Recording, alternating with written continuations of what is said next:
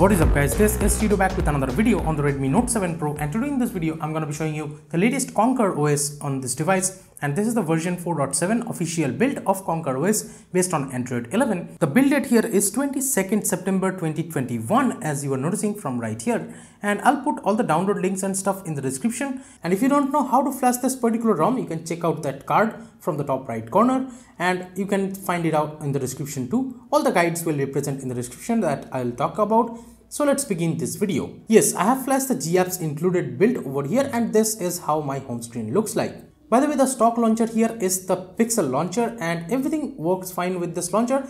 But of course, there is no double tap to sleep anywhere in the home screen because this is a vanilla Pixel launcher. Now in this stock launcher, as you can see, everything is working fluidly over here. To the left of the home screen, you get the Google's Discover page and you can scroll them right here and you can swipe up in the home screen to get the app drawer and that too is working fine. Swiping up in the home screen gets you to the notification or the quick setting panel and they are working fine too. And this has this OxygenOS kind of quick setting panel and here one cool thing is that once you connect to a 5 gigahertz network, this is how it shows over here. And as you can see, there is the Wi-Fi 5 like written in the Wi-Fi icon. If you're noticing that status bar icon right there, the Wi-Fi icon, it will show as Wi-Fi 5 on the like right side, right bottom of the Wi-Fi signal. It looks very cool. Except for that, let me tell you the widgets are working totally fine. As you can see, I have added this subscriber account widget that is working perfectly fine here. Now let's talk about the stock camera, shall we? Well, this is a Google camera present by default here. Yes, this camera does lag a little bit here and there, but most of the time it does work super fine. As you can see, front camera and stuff, everything is working fine, no issues whatsoever with that. The night sight mode is also there and it should also work with the selfies. Let me take a quick selfie so that I can show you guys. So this is the selfie with the night sight turned on and yes, it does work super fine. It has very good amount of details and I would say everything with this camera works perfectly fine. No issues whatsoever. As you can see, there is this zooming option and also the portrait mode works fine. I have tested that. Also in video, let me actually show you. If you go over here, we have this FHD 60 FPS option. So you can shoot at 1080p 60 FPS right here or you can go to 4K option and with that 4K you only get 4K 30 FPS now as this is the stock camera or this is present by default and it has this like rounded corners if you're noticing on the top and stuff looks very cool the whole camera UI there is some more options if you want to go into that. And if you want to go into the camera settings you just go here you just swipe down like this you can adjust the HDR and if you go into the settings you can turn off the save location camera sound etc of course and you can like customize it however you want to. Now if i go into the info as you can see this is the nikita gcam version 1.1 present by default here now from the lock screen over here, if you do this, as you can see, it opens the stock camera. Yes, the photos are locked because the screen is locked. In the background, you have to enter pin if you want to like see those pictures. But you can of course take a picture from right here whenever you are in the lock screen too. So that is great or you can take a video too. One bug is that once you are in that camera, as you can see, it shows this device is unlocked, but it is actually not. It will still ask you for a pin or password. Now let me show you the fingerprint scanner speed over here. And tapping on the fingerprint scanner it unlocks very very fast. Of course this ROM has double tap to sleep in the status bar. That works flawlessly. And if you have noticed in the lock screen it does have that Android 12 style lock screen clock. It looks very beautiful. And the clock does jump around once you are like clicking over here as you can see. And over here we have the date and the weather and stuff. But this mic option if you just do this from the like lock screen okay so yeah it does give you the google assistant as you are noticing. Let me show you. Okay so yeah it does work. Again the fingerprint scanner unlocking speed is very fast not a problem at all. So yeah i have had no issues with the fingerprint scanner. Very reliable fingerprint scanner and fast experience. Now if you want to go into the about section that is present on the top right here in the settings let me show you by jumping into it. This is how it looks like. It has this bold about phone written over here and it has this Conquer OS logo right there. And if you go into this Conquer OS version, you can see this is the 4.7 version and we have this CAF revision tag right here and the Conquer OS build number. It shows also the build date which is 22nd September 2021 GApps it says over here. Let me go back and in the Android version this is how it looks like of course and if you tap here you will see this has this Android 11's Easter egg so yeah that is not a problem. Let me go back. The security patch here is not latest of september. It is still of august 5th 2021 for some reason but yeah maybe they will update it in the future updates. The stock kernel here is the vertigo 4.14.190 kernel. Now yes this ROM does have the customizations but if you scroll down more in the settings on the bottom you will see there is the features theme customizer and the system. So yeah first let me show you the system and you have a system updater but for some reason it shows your device will no longer be supported for regular updates. As you're noticing right here if you are gonna look at the text this is what it says.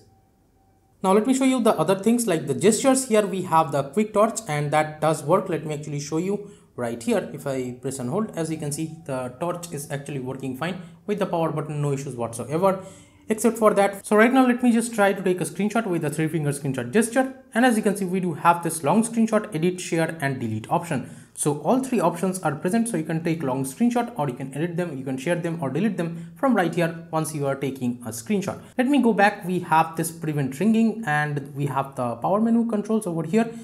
And you have the enable advanced restart option. Let me show you the power menu quickly.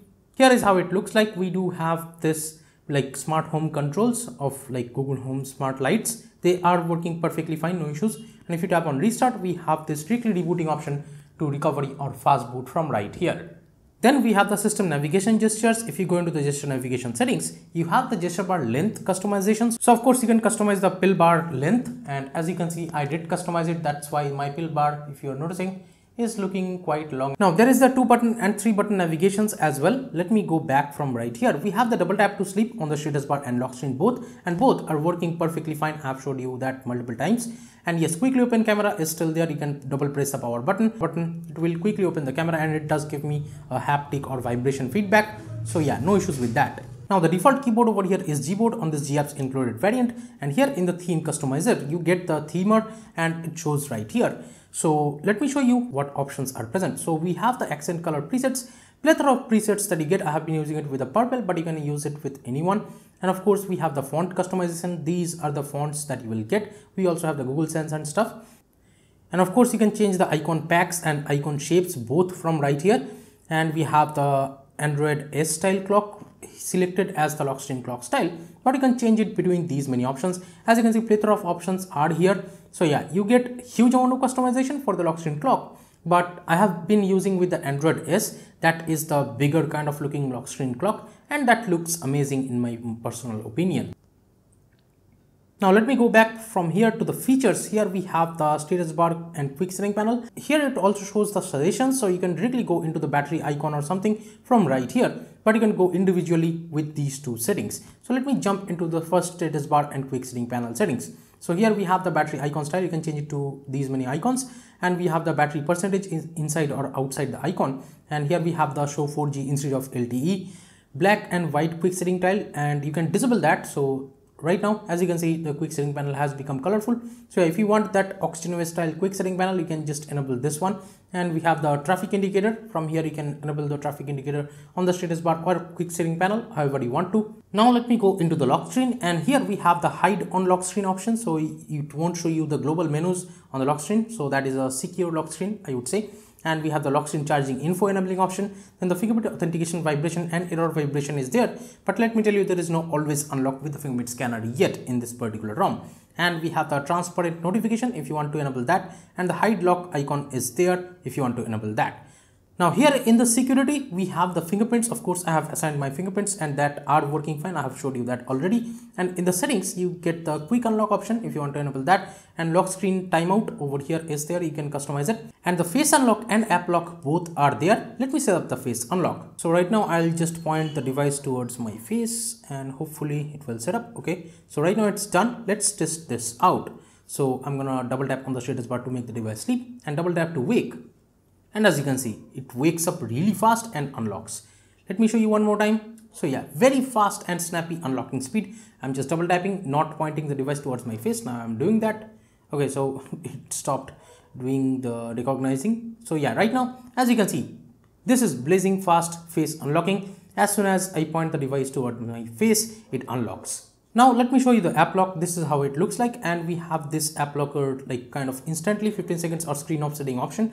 I'll do that with the 15 seconds and let me actually search for a particular app over here. Let's like lock this telegram app and here if I lock it and try to open it it is actually asking me for the pin or the fingerprint or the face data. So right now if I tap the fingerprint scanner and as you can see it opens the telegram app so yeah it works perfectly fine no issues whatsoever the app lock 2 is working great Now here I have tested some benchmarks and here are the and Geekbench score on your screen with a CPU stress test. And here you can also see the PC Mark performance score. Talking about the quick setting panel, this is how it looks like and you can edit and add multiple toggles over here. So no issues with that. But let me show you what things that I have added. I have the like Wi-Fi, Bluetooth right there, flashlight, airplane mode, auto rotate right there. Battery saver works super fine here and the dark theme is there. The like Android 11 style screen recording is there. With that you can record the device audio and the microphone audio at the same time. And we have the hotspot, the do not disturb and the data saver and the heads up nearby share. Always on display too is there. Let me actually show you by enabling it and here if I double tap right now as you can see this is how the always on display will look like. But yes the redmi note 7 pro has a ips display so it won't be really good on the battery life but yeah that's how it is. I would say if you only want to use it you can. But as you can see the double tap to wake somehow breaks once you enable the always on display.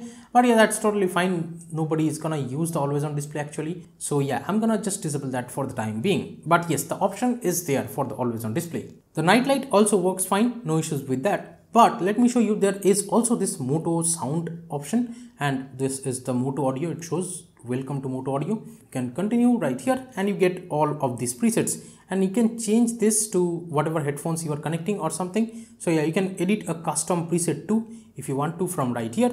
So yeah a lot of options are there for the moto audio or the dolby kind of sound. You can put it to bass boost or something if you want to or you can go full manual. So yes it does not have the mi audio Dirac in the sound settings but it does come with this moto audio and that is great. Again in the sound settings this is how it looks like. We have the media call volume etc and the vibrate for calls. You can customize that and we have the dial pad tone screen locking sound charging sound etc disabling or enabling option. Also you get the volume panel changing option. So in the sound settings you can change the volume panel to AOSP compact audio tiled or the stock one. By the way the stock one looks like this and you can expand it just like this. Very cool looking volume panel i would say not a problem here. And you can put the phone into vibrate or silent from right here in the display settings, we have all these live display styles and wallpapers, etc. By the way, the wallpaper I'm using over here is from the Wallpy app and you can also get this on device wallpaper. This is the default wallpaper of this ROM.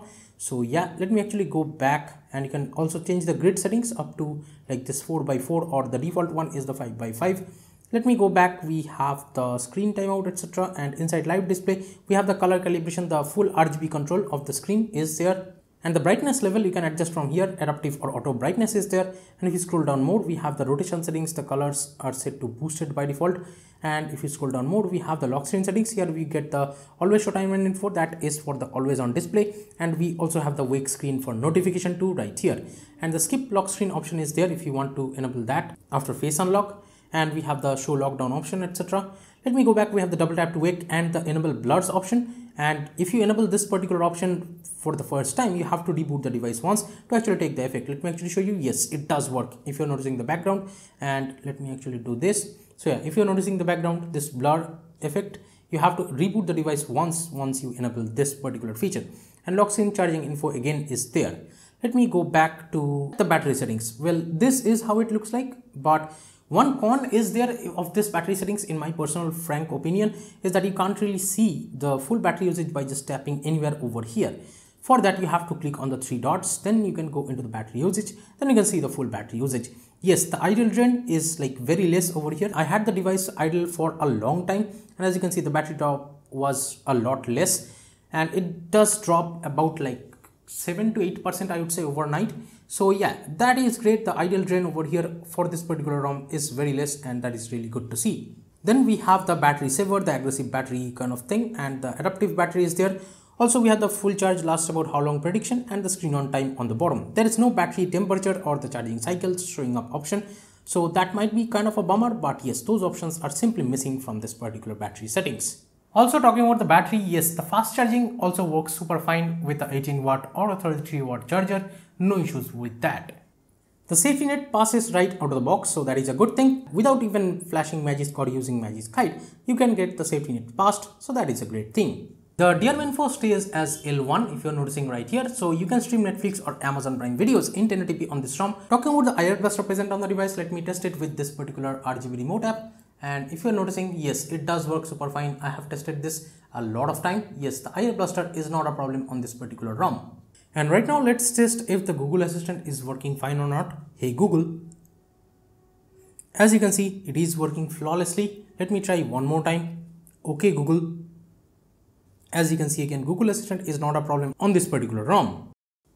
And you can of course swipe from the corners to also get the Google Assistant. No issues whatsoever. If you go into the backup and sync, this is how it looks like in Google Photos. And yes, you do get the Google Photos unlimited backup with this ROM again, as the device is recognized as a pixel. And if you're wondering how the recents panel is looking like, you have the screenshot right here. You have the select option and you can tap here to get an app into split screen or pin a particular app or you can go into the freeform mode or pause a particular app or you can go to the apps info from right here and you can go all the way to the left and you can clear all the apps from memory. The RAM management should be decent. So what do I think personally about this Conquer OS on the Redmi Note 7 Pro? Well, I would say this particular ROM is a really good daily driver for this device and it has the Google camera by default so you get the really good quality pictures over here but yes for taking a picture it is a little bit laggy like if you're taking 10 to 15 pictures back to back then it might be a problem but other than that i don't see a huge issue over here. So yeah thank you so much for watching this video guys. Give it a thumbs up if you liked it. Subscribe to the channel if you have not yet. This is Tito from KTN Tech signing off for today. I'll be catching you guys in the next one. Bye bye now